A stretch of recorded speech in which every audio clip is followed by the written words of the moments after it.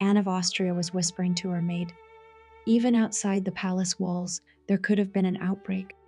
The queen needed to know for certain whether her son, King Louis XIV, would be able to have children. What if he couldn't have children or proved incapable of taking on the responsibilities of marriage? Anne of Austria gave a clear mandate. She wanted to see if Louis could be alone with a woman. Madame Beauvais agreed to do the queen's bidding. She promised to be careful that the young king did not realize it was his mother's order. The matter became one of national importance. After all, even young kings didn't have a private life. Sometimes their parents chose not only their future wives, but even their first wives. When Louis XIV reached puberty, his mother decided to test her son's ability to provide the dynasty with heirs. For this test, Anne of Austria chose an unsightly maid with loose morals. Her name was Catherine Henrietta, Madame Beauvais. She was an accomplished woman, 20 years older than the king. Louis was only 14. He still shunned the fairer sex, embarrassed by their playful glances. And the ladies of the court vied for the honor of leading the king into the world of love. It would allow them to remain forever in the monarch's memory and gain certain privileges. Anne of Austria had much to worry about. Louis XIII, her husband, was an apathetic man with a completely absent libido. And it wasn't just his happy marriage, but also his ability to produce heirs. What if the son was his father's son? The Queen Mother couldn't rely on fate alone.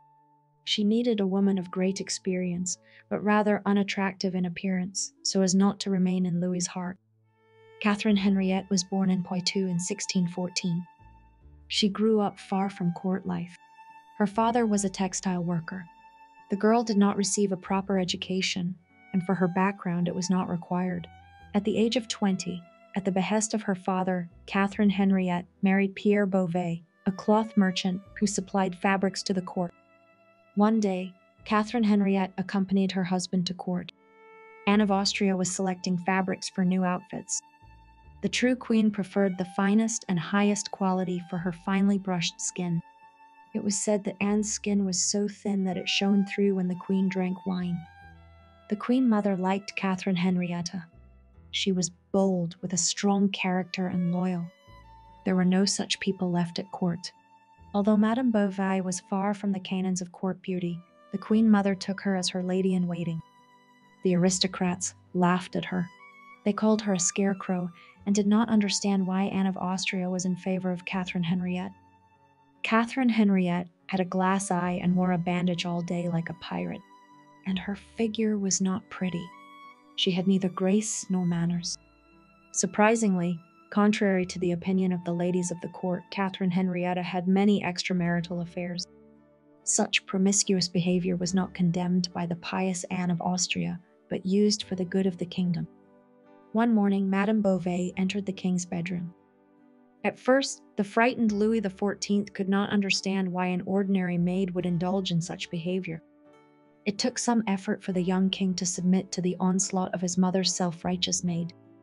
It is said that Louis was satisfied and took love lessons for another two years, and Anne of Austria was pleased that her son was able to give her grandchildren. Did the Church and the Catholics condemn Anne's decision? They did, did, but it was considered a minor sin. The future of the dynasty was more important. For their service to the crown, the Catherine Henrietta family was rewarded with the titles of Baron and Baroness, a piece of land, and a large sum of money. On this land, Catherine Henrietta built a hotel that was named after her. An amazing career from a merchant's daughter to the first wife of the King of France. It's like a Cinderella story, only Cinderella was more like a stepmother. Despite the ridicule of the courtiers and her lack of education, Catherine Beauvais was a confidant of Anne of Austria and was granted a private audience with the king at any time. After the death of Baron Beauvais, Catherine Henrietta led a lavish lifestyle. Debts accumulated. Out of desperation, she had to put the Hotel Beauvais up for sale. However, Louis XIV, realizing the situation, bought the hotel and gave it back to his first wife.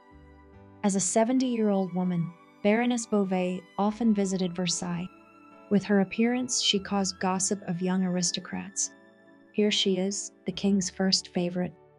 Courtiers welcomed her into their circles and appreciated her wit. The Baroness could approach the king and speak to him first, ignoring the etiquette that only the king could speak first.